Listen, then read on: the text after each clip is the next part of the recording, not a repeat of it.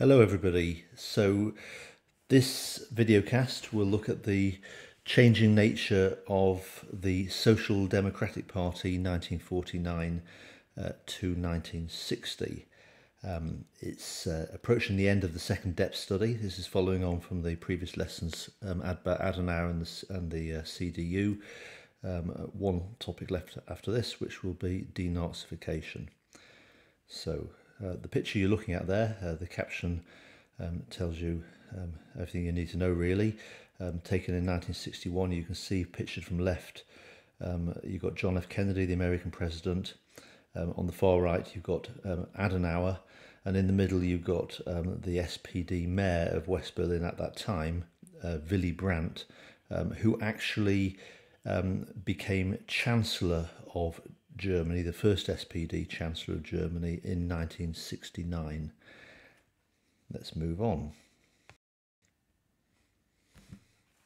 There's the reading, um, highlighted as the topic that we're doing today. Um, so as you can see, William Carr, um, Turner, good extracts from chapter 4 of Turner, um, and Williamson, the um, access to, uh, sorry, the Seminar Studies and History uh, series written for A level um, there's a good section on pages 55 to 59. You've got photocopies of the Turner and the Williamson, so hopefully you've got those beside you. Um, as we go through the notes, um, I will um, point you to the relevant pages. I would advise that you pause, um, read those sections at that point, um, and throughout the whole process be mapping the key points from the notes um, which uh, the, the, the notes information is on the slideshow, be mapping the key things over onto your mind map as we go through.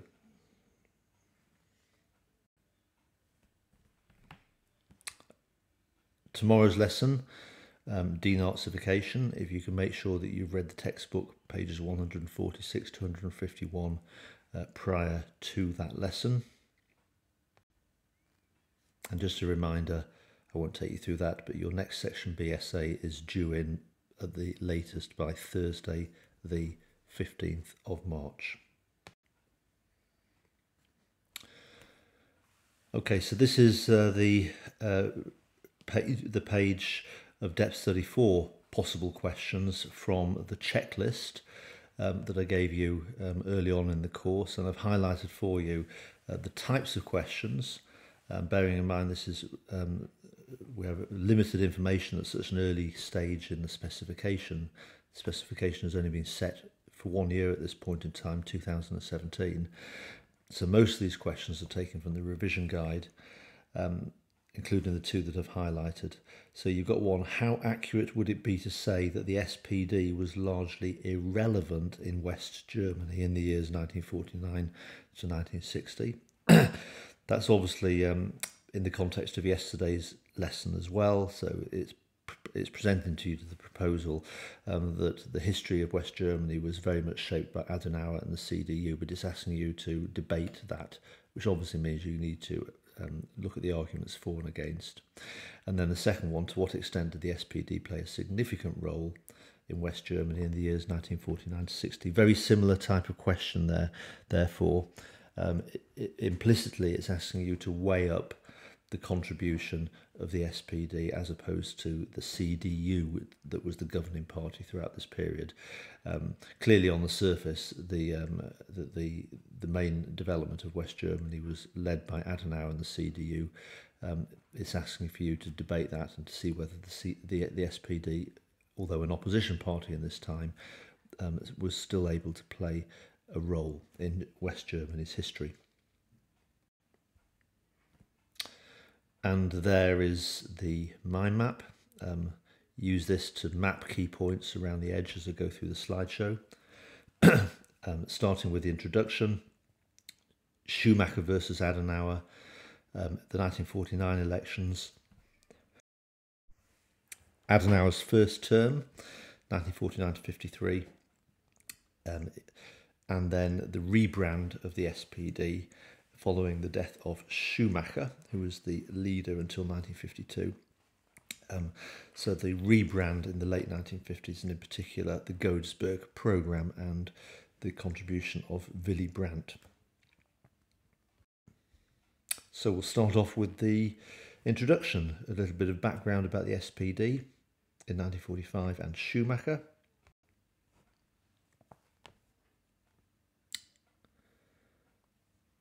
So, as I said, this might be the point you want to pause. Williamson, page 21 to 22.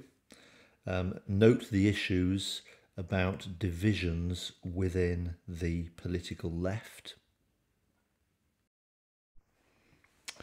So Williamson um, includes some useful information on this. Obviously, you know from um, having studied the course since 1871, one of the key factors that shaped German history uh, was that the political left had been divided um, really ever since the 1870s um, between the sort of mainstream political left that developed into the um, SPD, um, who were reformist, who were on the whole moderate. Um, although they were Marxists, they believed that the um, pathway needed to be through Parliament, uh, not through revolution. And then, of course, the radical political left, and in particular, they emerged um, and broke away at the end of World War One, um, forming the KPD, the Communist Party. And of course, one of the key arguments is that um, the Weimar Republic um, would have been stronger and more stable if there had been only one political party on the left for the working classes. The fact that there were two, and that the SPD um, and the KPD spent more time arguing with each other and disagreeing with each other rather than presenting a united front um, against the rise of the Nazis on the extreme right um, is arguably one of the key reasons that Hitler was able to take power in 1933.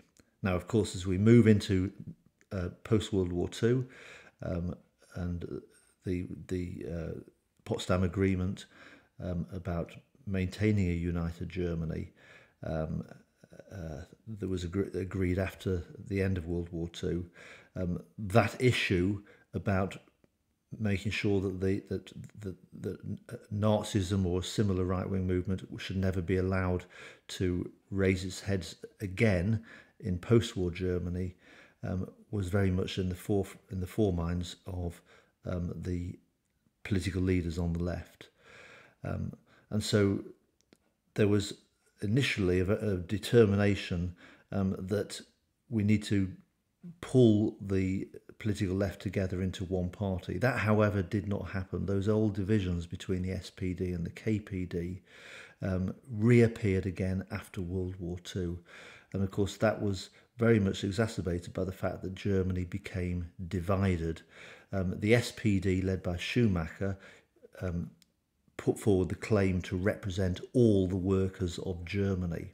But of course, what happened in the Soviet zone, the Soviet Union forced an amalgamation of the SPD and the KPD to form the Socialist Unity Party, the SED. Um, and that meant the SPD in the other zones of Germany, the British, the, the French, and the American zones, um, was forced to go its own way. Um, and lost a lot of its potential support um, because of what happened in the east. So the SPD um, in the western zones, so that eventually unified into West Germany, largely drew its support from the major industrial areas of West Germany, which were primarily in the British occupation zone in the north and the west of West Germany. So, a bit of background, go through the key points there. The SPD leaders had been arrested by the Nazis in 1933 uh, to, to um, 35, um, uh, gone into exile um, in Paris um, and in Prague, uh, both of which fell under occupation of the were invaded by the Germans in the course of the war. Um, so the SPD was reconstituted in June 1945. And then, of course, in the Soviet zone, you've got that forced amalgamation to form the SED. Uh, so that was very much recognised by the Soviet Union. There needed to be one political party to represent um, the workers to prevent fascism rearing its head again. But of course, the SPD in the Western controlled zones went its own way, led by a very, very charismatic and dominant um, politician called Kurt Schumacher, um, who had been imprisoned by the Nazis in concentration camps, very um, poor health, but a very, very popular and charismatic leader uh, until he died in 1952. So, 10 years in Dachau. Uh, there's a picture of him there on the front cover of Time magazine. Um, that edition appeared shortly after his death in 1952. Um, so by the end of World War II, he was the only surviving SPD leader who had neither fled Germany nor collaborated with the Nazis. And that gave him enormous popularity and prestige amongst the German working classes. He was very much seen as a as a um, socialist hero um, who had um, survived Nazi imprisonment um, without having fled abroad. Determined to push the SPD in a socialist um, direction, but likewise very much anti communist. Um, he believed in reform through parliament rather than through revolution. And so he strongly resisted any calls for the SPD to cooperate with the KPD in the western zones of Germany. Now, of course, in the eastern zones of Germany, the SPD and the KPD were forcibly united. Um, but Schumacher, with his strong views, was not prepared. He saw the SPD as the the the only party that should represent the workers of Germany, and so he refused any calls to cooperate. He was also a strong nationalist. Um, he was a patriotic German. He believed fiercely um, in um, a that Germany should continue to be a united, not a divided country. Um, so when Germany did divide in 1949, he saw Adenauer's support for the division for the reasons we looked at in yesterday's lesson, but he believed Adenauer was basically betraying Germany. Um, uh, Schumacher believed that German reunification um, was central um, to the um, building of socialism for the future. Um, so, in order for socialism to take root in the future, reunification had to happen first. Therefore, it was necessary, in his view, to appeal to middle class voters as well as working class voters in order to win power, because um, nationalism um, was uh, largely supported by the German middle classes.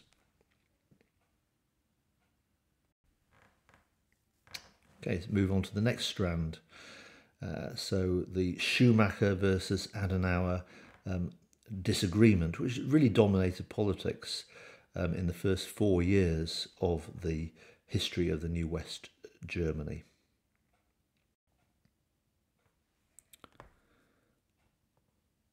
So again, there are some page references there for you um, to Williamson, pages 55 to 58, um, note the common ground explained on pages 55 and 57. Uh, so it's very easy to leap into a um, explanation of the fact that Schumacher and Adenauer were fierce rivals, um, which the textbook very much focuses on. But it is also important to um, show knowledge and understanding that they actually did admire each other and that they did share a lot of common ground. And that was important. When we come on to the, towards the end of this slideshow, we look at the significance of um, the development of the SPD and why the West German Republic was able to survive when the Weimar Republic had not. Um, one of the key points is that there was no room for compromise in the Weimar years between the SPD and the more right wing parties, whereas what was different with with West Germany, although there was rivalry between the two leading parties, there was also a common ground between them. Um, so Williamson on page 55 and 57 is very good on that. See also Turner, pages 118 to 120 and 128 to 9. Um, so I'll leave you to decide when you want to pause um, this video and just have a quick read through that and supplement your notes from those pages. But let's just go through the key points. So intense rivals, for several reasons. Okay, so learn these reasons. There are a number of them listed here. So, first of all, um, uh, Adenauer um, basically accused the SPD of being unpatriotic to the new West Germany. Um, in Adenauer's view, the SPD um, were left wing, and so he saw them as being a Marxist party, he saw them as being an internationalist party, um, and of course, uh, because the Soviet zone of Germany, um, and in the context of the growth of the Cold War, but the Soviet zone was obviously um, Marxist uh, in the way in which it was run. Um, Adenauer saw um, Schumacher and the SPD of basically be- betraying um, German ideals. Schumacher, on the other hand, countered that argument by saying that the CDU um, was merely a puppet to the Catholic Church that was internationalist. Um, and of course, one of the points is, is that Adenauer was a Catholic. Schumacher was a Protestant.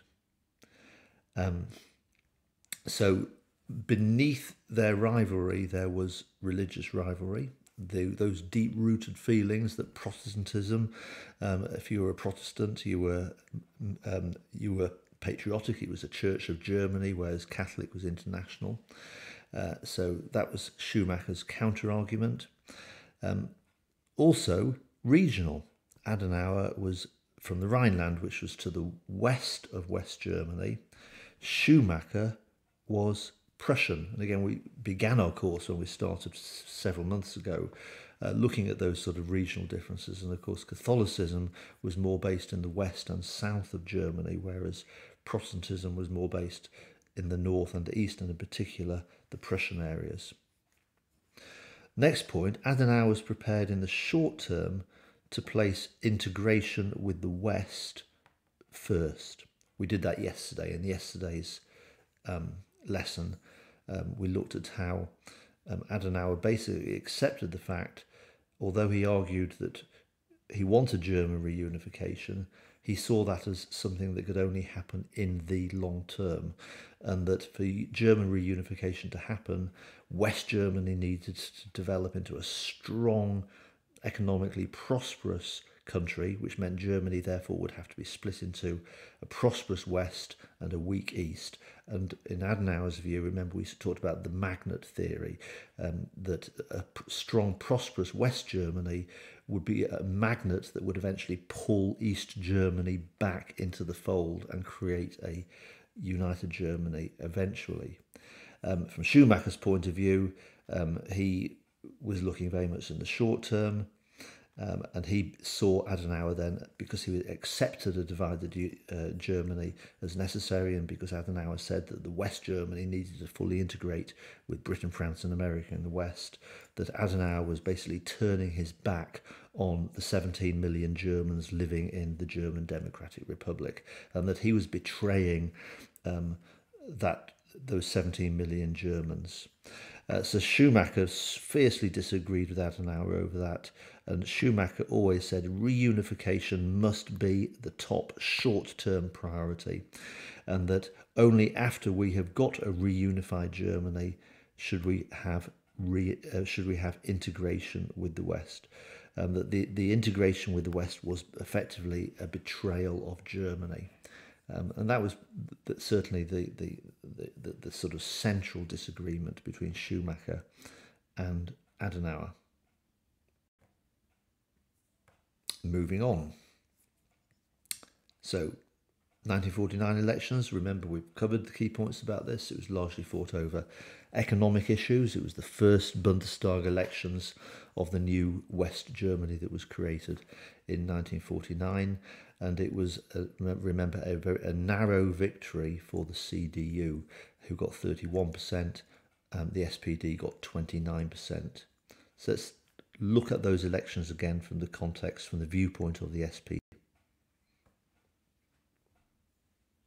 So again, you've got page references there to Williamson and Turner. So you may want to pause the video and read those pages and pick out relevant points before you continue with this video. I'll just go straight into the points here. So, Schumacher, very, very confident the SPD would win that election. Remember, we as historians have got hindsight. We look back and we know that the SPD were electorally unsuccessful for the first 20 years of the new West Germany. They didn't take power until 1969 with Willy Brandt. Um, the CDU won the elections, albeit by a narrow margin in 1949, but as we saw yesterday, increasingly um, stronger margins, um, culminating in the overall majority of 1957 uh, which we covered yesterday. But nevertheless, you got to, as historians, it's important we understand history from the perspective of the people living at the time. And Schumacher was confident um, that the SPD would win. Remember, Germany was a war torn country, it was still very much picking itself out of the rubble of the damage of World War II. Um, a great deal of poverty. Um, the um, economic recovery had certainly not really kicked in by 1949. Yes, the western zones had merged into Bizonia and then Trizonia, and then, of course, West Germany had been created. Um, there was the grassroots of economic recovery, but the vast majority of Germans were impoverished, and in that context, um, would normally have given their support to the left wing political parties, in this case, the SPD. So the election campaign, as we said, was largely fought over the future direction of Germany's economy. The SPD stuck to their Marxist philosophy um, that uh, the that economic development should take the direction of a planned economy with a great deal of state intervention, strong central control of that. The the CDU and Adenauer, of course, countered that with their social market economy philosophy, which we will develop in more detail in a subsequent lesson when we look at economic change during this period. Remember, the key person there was Ludwig Erhard of the CDU, and that was very much the argument that yes, there will be intervention by the state. This will not be a laissez faire economy in which market forces, businessmen, etc., have complete control over economic direction. There will be um, central direction by the state, but not in terms of a planned economy, which is what the SPD wanted, more in terms of being a market policeman. So, market forces, free market forces, supply and demand, etc., will continue to um, in, uh, play an important part. Um, profit, free enterprise, etc., has got to be central. It's got to motivate. Uh, initiative has got to be allowed. So, therefore, we're saying it is retaining the right wing capitalist philosophy, but it will not be unbridled capitalism, such as the, what happened in the 1920s, um, which Hitler was able to take advantage of. Why did the CDU win that election? Well, remember, they only just won the election 31% as opposed to 29%. It was a very, very narrow margin. Um, they had an immediate advantage um, for a couple of reasons. First of all, the social market economy idea had already started to re- reap positive results. Because remember, in 1947, um, sorry, 47 to 48, um, the, the, the, the, the US and British zones had merged into Bizonia. Um, this was before West Germany came into existence, and, by, and that was an economic union, an agreement to work together economically. And then, of course, the French had come on board, and the three zones had merged in 1948 to become Trizonia. And the social market economy principles had been applied within Bizonia and Trizonia. So by 1949, by the time of the first West German election, um, the grassroots of that pol- policy was starting to emerge. People were being were becoming aware that the CDU had found a different way forward um, beyond the traditional um, one way or the other. Should it be a planned left wing economy or free a free unbridled capitalist economy? Well, there there seemed to be a third way here that seemed to be working. So that was certainly a factor.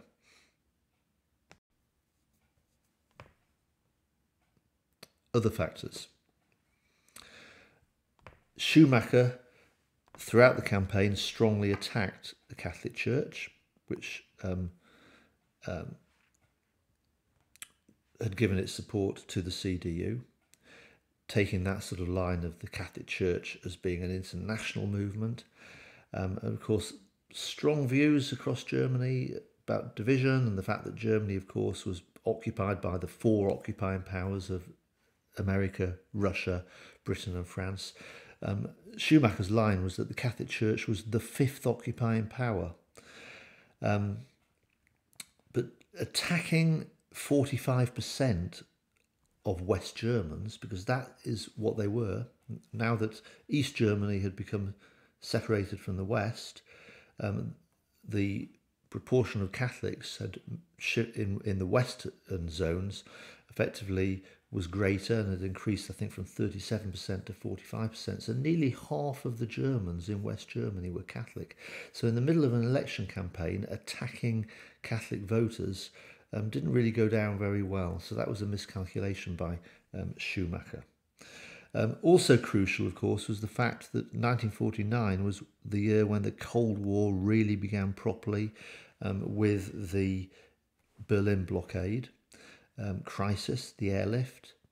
Um, and so, with that, there was a strong fear in the West of the USSR. I mean, after all, what did the USSR do? They blockaded um, Berlin.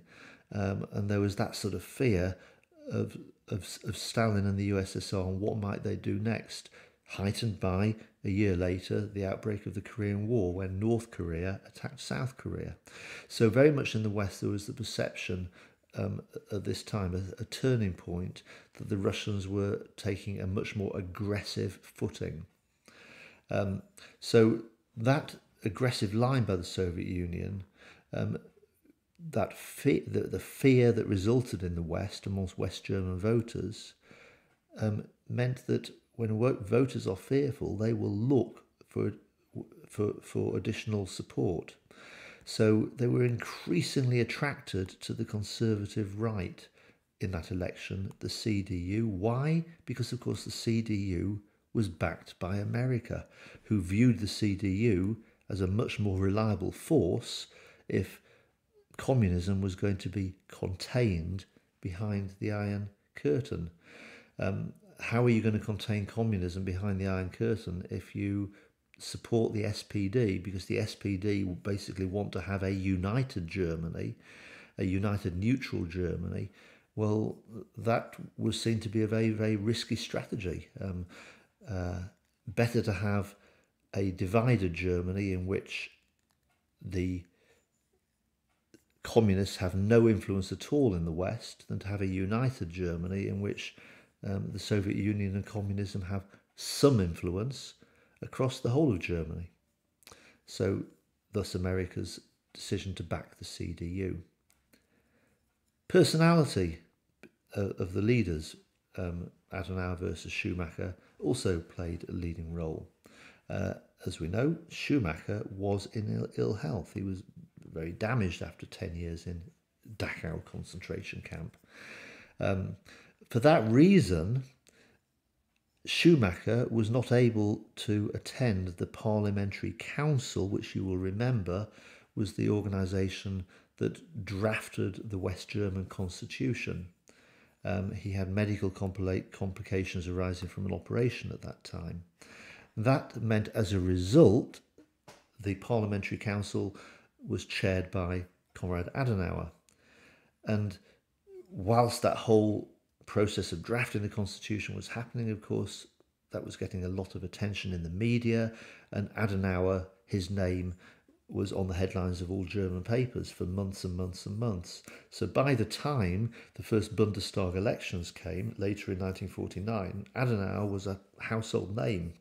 He was well known as the man who had effectively led the drafting of the new constitution of Germany. So that very again very much played into the hands of the CDU in the first election.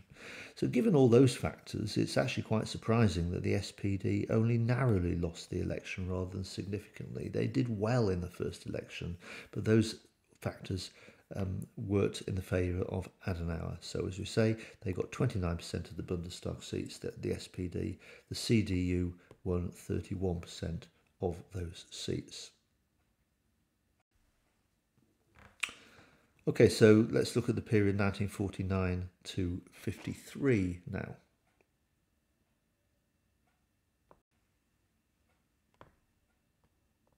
Again, page references there for you to pick up. Williamson, 55 to 58.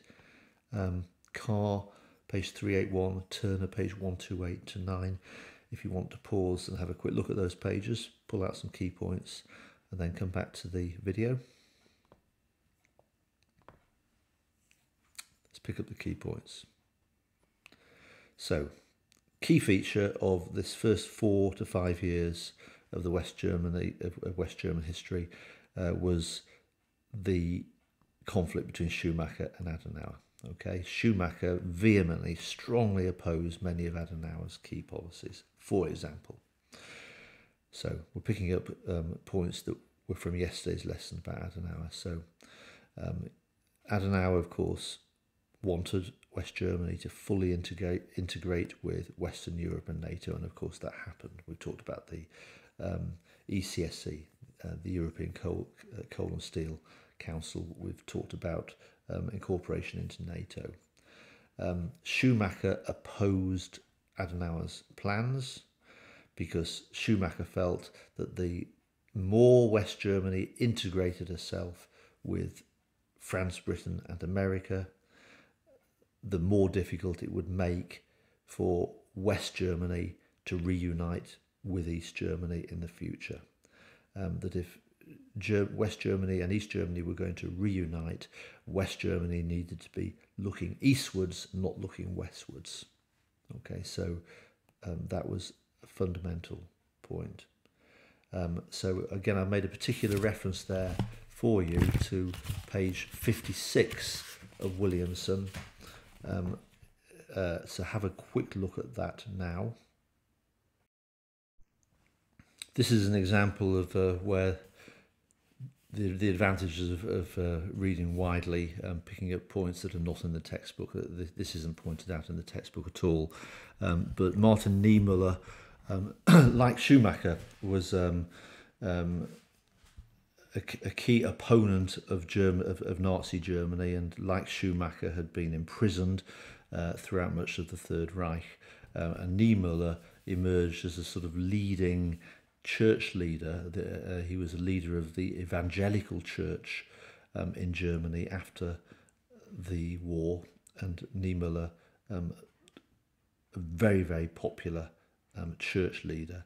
And so Schumacher effectively uh, during the election campaign uh, formed a, a, tactical alliance uh, with Niemöller. That really, really worried Adenauer um, because uh, of Niemöller's popularity. Um, so Adenauer was very fearful that that uh, would work against him. So pick up those details from Williamson. Uh, next point Schumacher also rejected Adenauer's policy of economic integration with the West um, because it would strengthen a free market capitalist economy across its member states. Uh, so again, we'll develop that sort of notion more when we look at the when we go to the breadth study, economic development, uh, next lesson. Um, but clearly, Adenauer's policies of the free market of the so, the social market economy are more on the right wing uh, of economic theory and he very much wanted to integrate that economy with the French and the British and the Americans. Um, Schumacher argued instead that reunification must be the first aim. That must happen first. And only after we have a reunified Germany, only then should a unified Germany attempt to integrate with the West. But as we said earlier, integration first will slow down the process of achieving reunification. Um, if only West Germany integrates with the Western European countries, then it will bind West Germany more closely with the West, which will accentuate the division between West Germany and East Germany. Schumacher also denounced Adenauer uh, for being a puppet of America. Um, we opened this slide, of course, with a photograph of Adenauer meeting Kennedy. Um, he argued that Adenauer was only too eager to work with the Allied occupying powers, in other words, the British, the French, and the Americans. Uh, Schumacher argued that the needs of German reunification must come before cooperating with the French. So again, um, and, and Britain and, the, and America. So again, Williamson, page 56, 55 to 56, is very good on that. So as a result of all of this, Schumacher was fiercely opposed, of course, to any plans to create a West German army. Um, why? Because he believed that a military alliance with the West would hamper the goal of reunification for similar reasons. And add to that, of course, um, building an army will cost money and that will divert money away from welfare provision, from looking after the needs of ordinary Germans. And of course, um, the SPD being a socialist party, they put at the front of their agenda um, sp spending money on welfare provision um, before rearmament. So all of those factors came into play. There's an interesting poster there. That's uh, on the right. Um, that's an SPD election poster from 1945 uh, calling for a free, freies, socialis, socialist and Geeins uh, united Germany. Um, so as you can see, strong emphasis with the with the SPD there will be one flag for Germany and that we will bring Germany together. We should be eastward looking, not westward looking.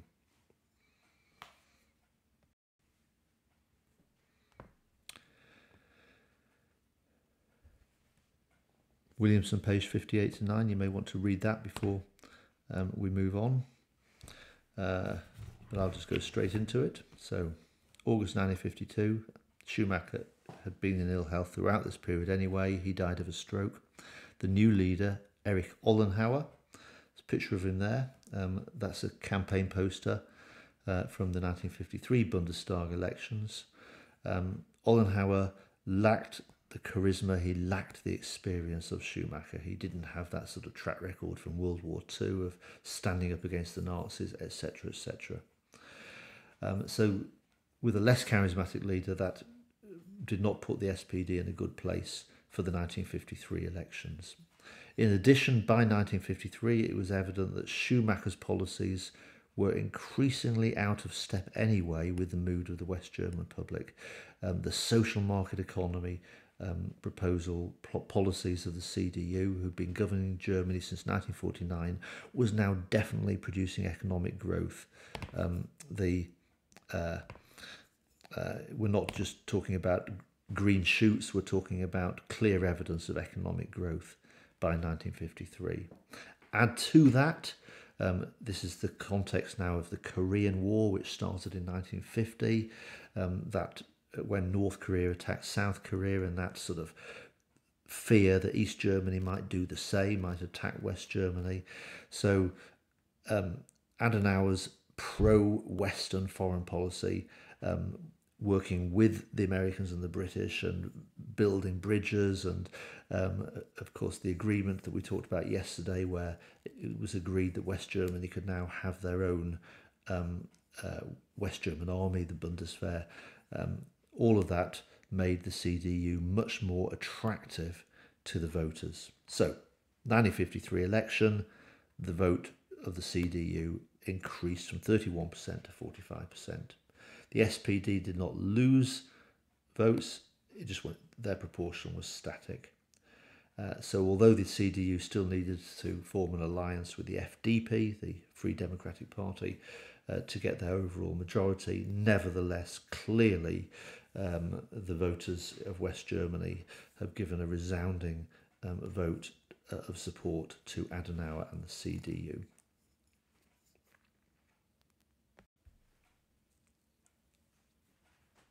So, there needs to be a rebrand, there needed to be a new approach. Under Ollenhauer, from 1953 onwards, the SPD certainly, perhaps if not falling into decline, it was certainly um, stagnant. It was not going anywhere. Um, and that's where this key person, uh, Willy Brandt, uh, becomes important. There he is.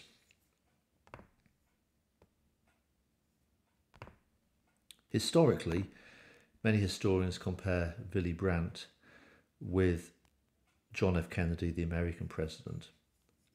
A couple of reasons for that. One, that they were contemporaries. Um, uh, Brandt uh, emerged very dominant as the leader of the SPD in the late 1950s, although he did not become Chancellor of Germany until after Kennedy's death. Um, but nevertheless, he was very much in the public eye uh, between 1960 and 1963. And of course, that was the time when Kennedy was president of America. And as you saw um, on the opening slide, there was that famous photograph um, from June 1961 where Kennedy visited Berlin. Um, Adenauer was there as well, but Kennedy's focus was very much on Willy Brandt, the, the, the, the German leader of the future. Um, Kennedy, although although Adenauer at that time was Chancellor of Germany, it's almost as if Kennedy uh, could see that the future lay more with Willy Brandt and the SPD, even though they were in opposition and not in power. So, um, Brandt had been around some time. Um, he became a well known um, local politician because during the Berlin blockade and airlift crisis, he was the mayor of West Berlin. So that sort of like key juncture where the attention of the world was focused on the Americans providing an airlift to West Berlin, uh, Brandt standing firm, backed by the Americans, um, hit the headlines. Uh, and he was very young, like Kennedy, he, um, who also was a very young leader. Um, so as we move forward 10 years to the late 50s, early 60s, they were very much very similar. They were young, charismatic, a new brand of politician, very different from the old school of politicians. And Adenauer was increasingly seen as old school. Remember, Adenauer was old. I mean, he had been mayor of Cologne back at the time of the German Revolution. Uh, so uh, Brandt, young, charismatic, good looking, he was sort of seen to be very much um, pushing the SPD into a more modern direction. Um, uh, so, but that being young, good looking, and having a track record from being mayor of West Berlin was, of course, not in itself enough um, to um, steer the SPD into power. Um, he needed to back that up with practical policies. And he did. Um, he took the SPD into a new direction. He accepted the realities of the situation in West Germany. He basically said, we, the, the SPD, we are out of touch. Our Marxist policy, our Marxist proposal for a strong centralized state managed um, economy does not work in the new age post World War II. And that's why the Godesberg program of 1959 is so important. So again, I would say go to um, Williamson, page 64 to 5, um, Carr, page 381, and Turner, there's a very good section, um, a four-page section in Turner about the significance of uh, the Godesberg Conference and the new policy that was drafted and agreed upon by the SPD um, under Brandt's leadership in 1959, the so called Godesberg Programme, which basically took the SPD away from its Marxist roots. And they endorsed the concept of the social market economy. Brandt was prepared to acknowledge, rather than just take an ideological, principled um, position of opposition to Adenauer and the CDU, he acknowledged the fact that the CDU, with their social market economy, had got it right. So he said to the SP, he, he, the SPD, basically said, yes, we endorse that approach, and if we take power, um, we will not ditch all the good work that um, Adenauer has done. That we will basically adopt uh, many of the same principles. So, the SPD now also supported integration with Western Europe. They supported membership of NATO. They softened their anti Catholic stance. So, uh, the Godesberg program very much was sort of like bringing the SPD more from the political left to a much more central position as a way of appealing to German voters. And then dramatically, the SPD said, We are very willing to work with the CDU and we will join you in a coalition if you ask us to do that. Up until that point, the general assumption was that the SPD were an opposition party, and so when the CDU did not achieve an overall majority, it wasn't really in anyone's mind that the CDU would coalesce, would join with the SPD. The, the CDU, of course, joined with the smaller FDP. Um, but now Brandt asserted if we if if, if in future elections the CDU do not achieve a majority, but you are still the largest party, then we are willing to work with you in a coalition if you ask us to. So the Godesberg programme.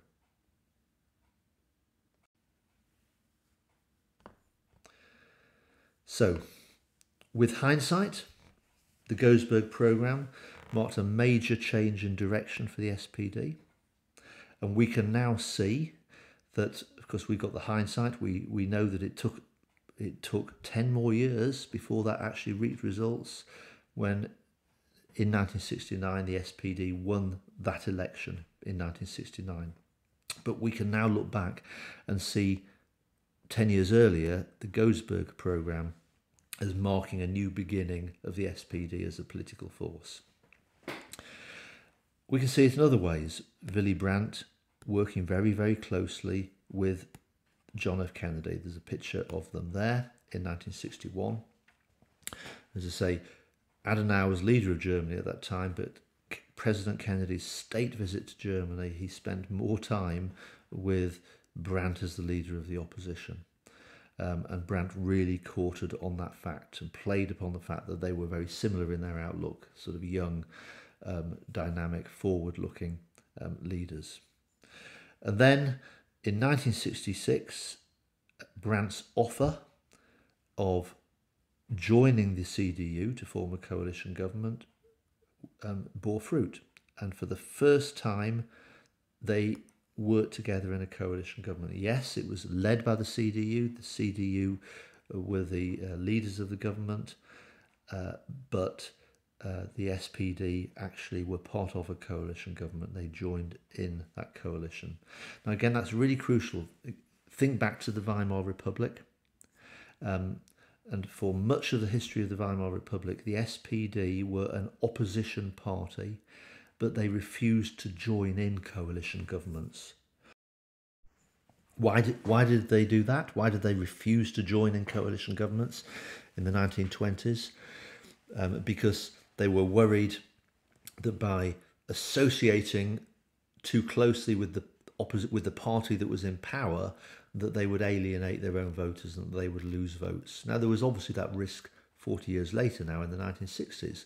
Um, if the SPD enters a coalition with the CDU, might the SPD lose support in the next election? Might many of their voters be disenchanted with their with, with, with their leaders' policies? Um, Brandt was prepared to take that risk. Uh, and in fact, the German voters saw that as a positive. They saw um, a willingness to compromise and to work um, in coalition as a, as a positive sign.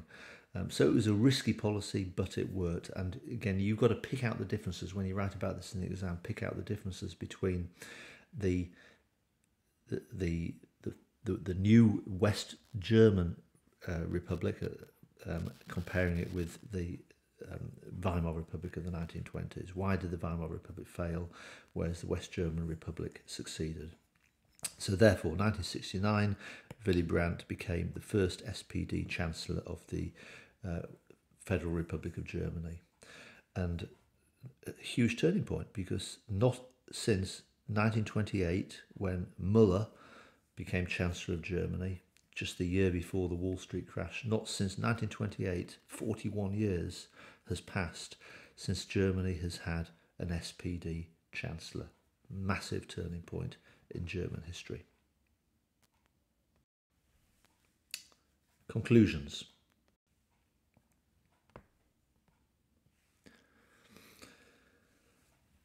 Okay, so significance, a few pointers here. The rivalry between the CDU and the SPD helped to confirm the fact that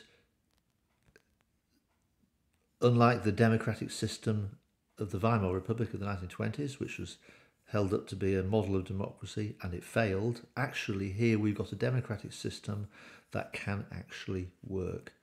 Uh, that for the first time there can be a healthy political debate between the leaders of the government and the leaders of the opposition. Uh, yes, it was fierce rivalry. We talked about Adenauer versus Schumacher, but they respected each other um, and they had they found common ground, um, and it worked. So, although they were rivals, they didn't resort to mudslinging, um, to the type of politics of the Weimar Republic, which basically for, forced governments to only last for a year at most, and then there had to be a new election. Um, but it's a combination, isn't it? It's the personalities were important, the willingness to compromise, to come together, to, to, to work together, even though they disagreed with each other, is obviously one factor. But remember, the other factor is the basic law, the constitution of West Germany, um, helped ensure that there was no division. So you bring the basic law into your answer. If you get a question on this in the exam, um, then obviously you've got to talk about the basic law. And the basic law helped um, this, uh, that, helped move this along. That's important as well. Um, so, although the SPD and the CDU had differing visions, they were united by a mutual respect. Um, they were different, but they they both valued democracy, and they both jointly rejected extremism. Um, and we'll look at the, this in the next lesson about the denazification um, policies um, there was a, a, a, sort of neo-Nazi party at the time, the Socialist Reich Party, that was outlawed in, 19, in 1952. Well, that was by the SPD and the CDU working together. Um, so that was important. In contrast, in the Weimar era in the 1920s, the SPD was so much in opposition to the um, parties that, that were leading Germany that they and they were also opposed to the communists to such an extent uh, that it's almost that they didn't notice the rise of the Nazis and they allowed Nazism to rise. Whereas here, what's different is they were clearly got their eye on the ball and knew that they had to work together to prevent the the, um, the rise of extremism. And of course, the Basic Law helped as well because of the five percent rule. Uh, they were also united by a firm belief that German nationalism could not be utilised by the extreme right wing. Okay, so again, we'll pick that up in the next lesson.